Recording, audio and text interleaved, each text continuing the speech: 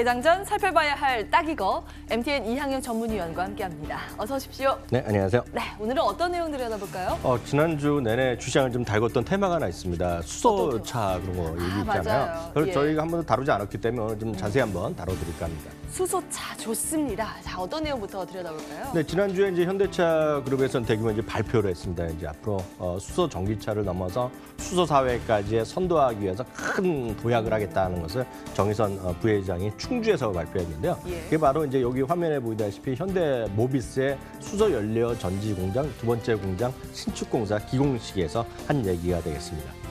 이 내용 구체적으로 좀 들여다볼까요?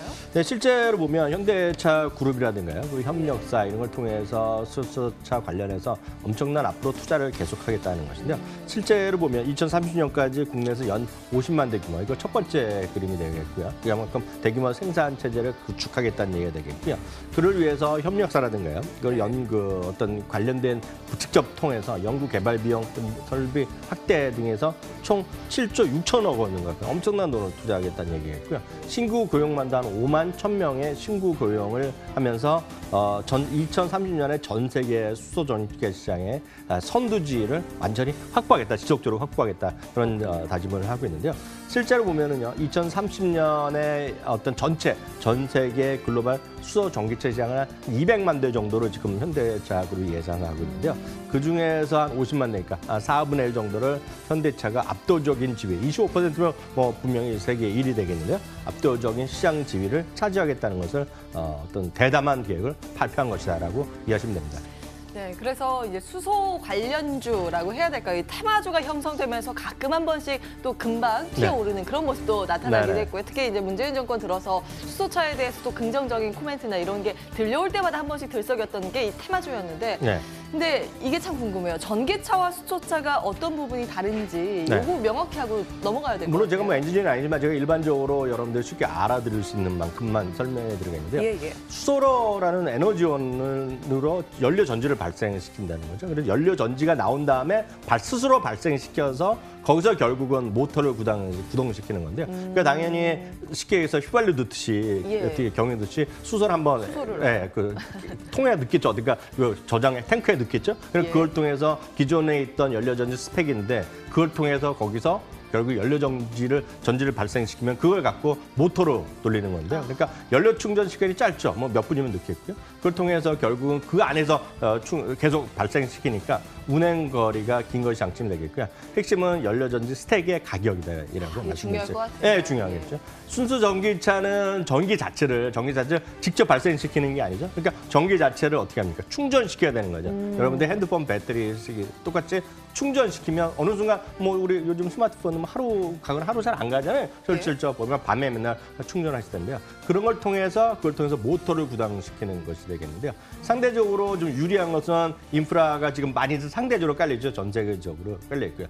다만 핵심이 여전히 배터리 팩 가격이 여전히 비싸다, 싸다 이런 얘기를 계속 하고 있는 것이 차이가 되겠고요. 이것을 어, 좀 상대적으로 구분해서 해놓은 표를 어, 그 KDB 투자증권에서 현대차의 어, 넥소 어, 수소 전기차랑요. 어, 테슬라 모델의 모델 3를 비교한 결을 해놨는데 음. 실제로 보면 충전 시간은 가장 궁금하신 건 3분에서 5분인데요. 요 네 번째, 다섯째 해준인데요. 예. 어, 테슬라 같은 경우에는 빨리 해도 20분, 완속해서 4시간에서 8시간 정도 걸리니까 수소차가 확실히 네, 빠르네요. 훨- 훨씬. 빠르다는 예. 얘기가 되겠고요.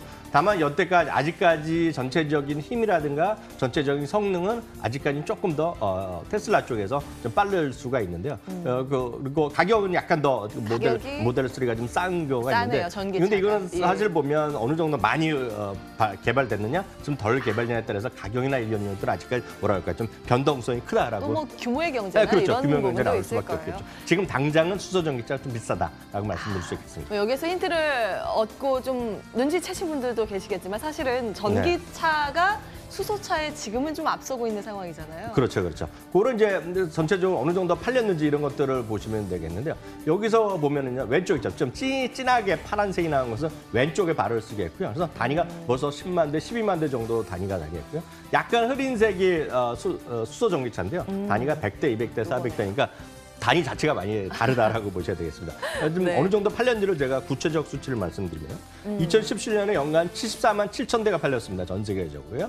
그것이 그리고 올해만 하더라도 상반기에 43만 대, 벌써 전년 동기 대비 71%나 어, 많이 예, 팔렸으니까 올해 연간으로 100만 대 정도를 얘기를 하고 있는 거고요. 다만 이제 실제로 보면 전체 전기 자동차에서 글로벌 전기차의 시장은 한 3%까지 늘어났고요. 전체적으로 전체 판매 비중은 한 1% 정도 이렇게 일단 이해하시면 되겠는데요. 실제로 보면 아직 수소 전기차 같은 경우는 2020년에 2020년에 해봤자 3만 대. 그러니까 작년 기준 3천 대겠고. 그러니까 예, 예. 아까 보면 뭐 4, 70만 대 정도 팔렸다는데 3천 대니까 경쟁이 안 되죠. 2022년도에 대봤자 3만 대니까 아직 불, 어, 경쟁이 안 되는데요.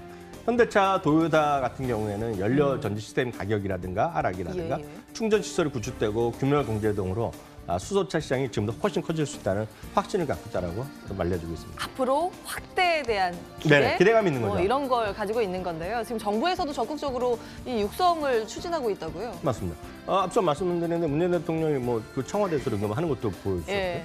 그리고 어딘가에 지난번에 프랑스 파리에 갔더니 뭐 파리 시장이랑 해갖고 같이 뭐 얘기한 거 혹시 아, 이 예, 뉴스 예, 보셨는지 모르겠어요? 수성기차 택시 하시는 분이나 얘기한 거 뭐 직접 네네. 보셨는데요. 정부는 여하튼 2022년까지 수소 전기차를 16,000대를 보급하고요. 수소 충전소를 엄청 늘리겠다는 겁니다. 실제 제가 알기엔 서울에 지금 뭐 강남에 하나, 강북에 하나 뭐 300여 개, 두 개밖에 없는데 네. 이걸 2022년까지 많이 늘리겠다는 근데 얘기야. 충전소 하나 설치하는 비용이 어마어마하대요. 아, 그러니까 뭐 돈이. 많이 들겠는데 뭐 한번 만들어 예, 예. 놓으면 이제 잘 쓸 수 있으니까요. 음. 아, 그리고 울산이나 서울시 등 수소버스 시범을 수도 뭐 수소버스의 시범 운영하겠고요. 또 여러 가지 내년도에도 예산을 더 늘려놨어요. 그래서 네. 그런 것들이 이제 긍정적이다라고 볼 수 있겠습니다. 이 국내 상황 들여다봤는데 혹시 다른 나라는 어떤가요? 다른 나라도 많이 이제 열심히 하고 있는 나라들이 있죠. 중국 같은 경우에는 수소 전기차 굴기 선언을 했고요. 어. 2030년까지 수소 전기차 100만 대를 보급한다 얘기하고 있고요.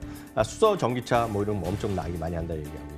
일본도 마찬가지입니다. 2020년 같이 2020년까지 수소 전기차 4만 대, 충전 충전소 160개를 보급한다는 목표를 갖고 있고요. 미국도 마찬가지입니다. 미국도 캘리포니아만 경우에도 2020년까지 수소 전기차 아, 3만 대 보급하고요. 충전소를 123기를 어떤 계획한다는 얘기하고 있고요. 독일 같은 경우에는 수소차를 이제 시범적으로 지금 운영을 하기 시작했고요.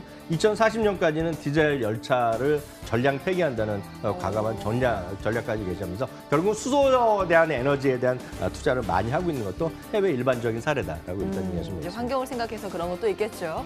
어, 그러면 나라별 수소차 지원 계획까지 살펴봤거든요. 네. 투자의 관점에서는 혹시 어, 어떤 종목들, 어떤 기업들이 네, 참여하고 이제부터는 있을까요? 이제 진짜 궁금하실 텐데요. 예. 그래서 진짜 수소 관련주가 뭐냐 이런 거 궁금하시잖아요. 맞아요. 그리고 지금 오른 것이 맞냐는 것인데요. 음. 사실상 보면 뉴스에는 엄청나고 신문이나 이렇게 언론에 보면 분류를 잘 하는데요.